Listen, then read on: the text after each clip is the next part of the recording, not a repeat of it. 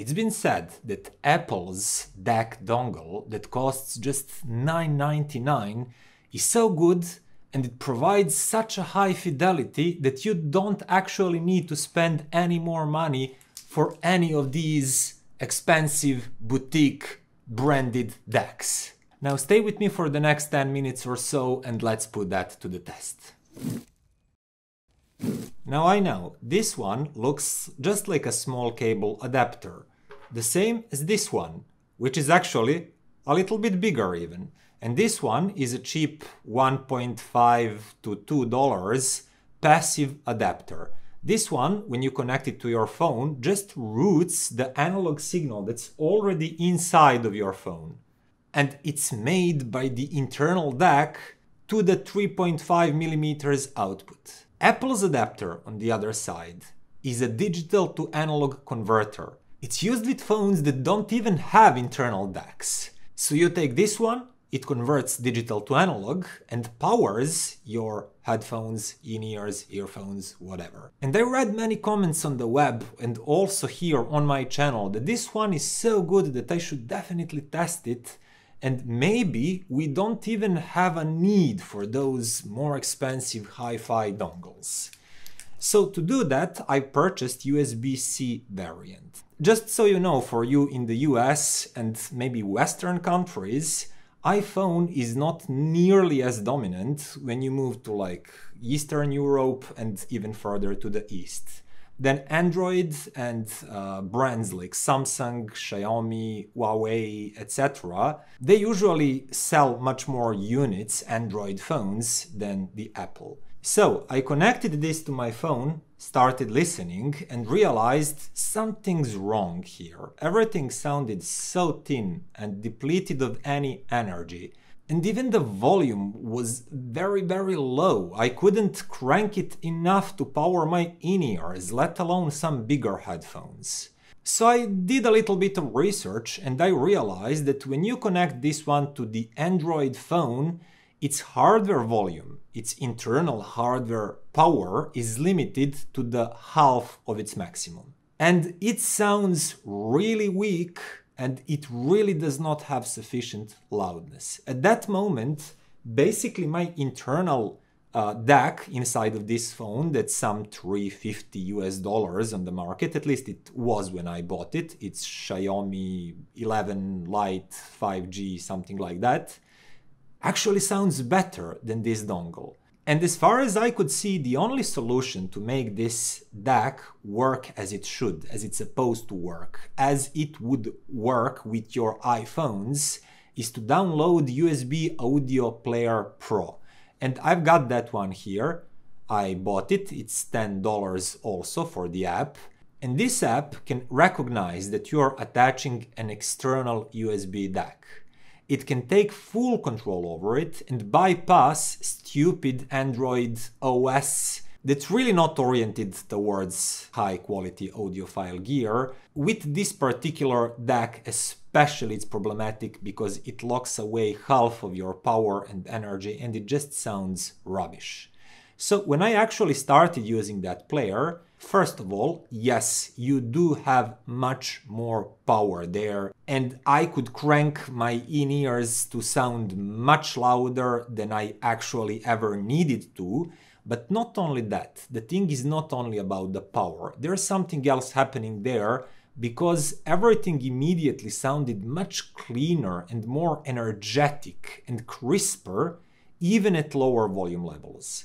So this DAC simply doesn't work well with OS operating system. But when you use that app that I've just mentioned that grants you direct access to the DAC, then you can actually experience what iPhone users hear when you're using this DAC. The sound was crisp, clean, very detailed and uh, if i would to complain about something it would be that it sounds kind of analytical. There is not much weight in the bass line and some sort of warmth and upper registers can sound a little bit sharp and aggressive But other than that, really speedy sounding, dynamic sounding, and like crisp sounding, as I said. So to find out how it actually fares against these pricier DACs, I went on and first compared it to 7Hz 71 DAC. It's a 35 US dollars DAC, so it's 3.5 times more expensive than Apple's one here.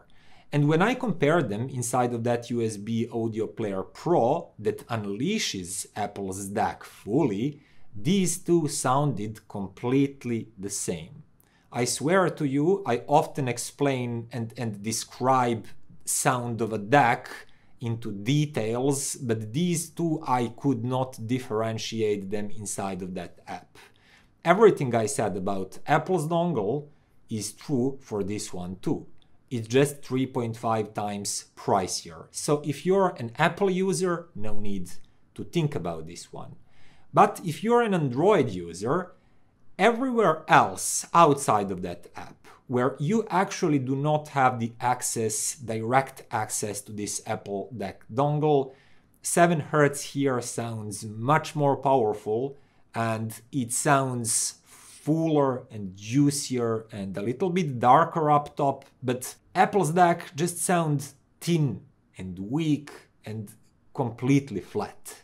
So yes, its internal hardware can produce sound that can fully match this pricier one, but only if you use it on an Apple device or with USB Audio Player Pro outside of this situation on any other uh, Android phone, and I tried several of them, it's just rubbish and don't even think about it. But let's keep it in that good environment with that one player that works well with it on Android phones and then compare it to some pricier DACs. So I took all of these, I compared it, but to keep this video shorter than it needs to be, I'll take Beam 3 Pro here as an average 150 US dollars DAC. Does Apple's DAC dongle sound equally good as this much, much pricier, like 15 times pricier DAC and a little bit bigger too, drains more energy also.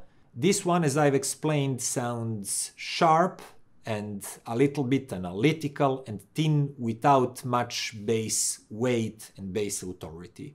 It is very sharp and it is clear and crisp sounding, but it's lean and high frequency oriented. On the other hand, when you move to Beam 3 Pro, you immediately notice heavier bass line. For example, I was listening to this song, great song by the way, greatly recorded too, and these lower bassy notes sounded much fuller and lusher to this DAC. But not only that, everything had more body and, and more core. It, it felt like tones are more realistic and more palpable in air, while through Apple's DAC they sounded thinner, sharper, and more digital. Also, one thing that I've noticed is at one moment it's close to the beginning of the song, somebody from the audience yells you know, because that's a live recording. Through the uh, Apple's DAC dongle, you just hear that somebody is yelling at a lower volume than main musicians, but you cannot really say where does that come from. With Beam 3 Pro, you definitely notice that, that that's some far away sound. There's much more feeling of depth because these uh, echoes from that room where it was recorded and these spatial cues that our brain can accept and process are saying to us yeah that's something that's deeper in that room that space that hole and it sounds a little bit echoey and it has reverb.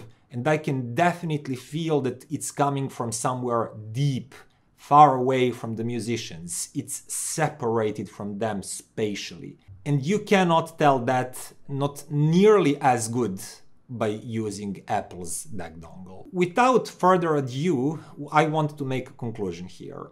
Apple's DAC dongle for $9.99 is a pretty good, detailed, energetic crisp and clear sounding device once you can actually access its hardware volume control.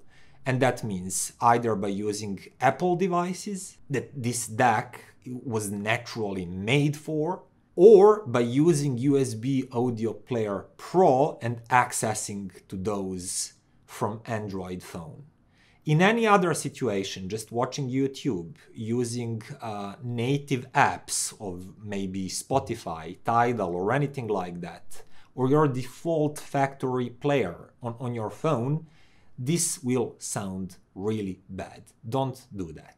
But once you actually use it properly, it can completely match the 35 US dollars 7 Hertz 71. 3.5 times the price. I cannot distinguish these two. That's a pretty good deal.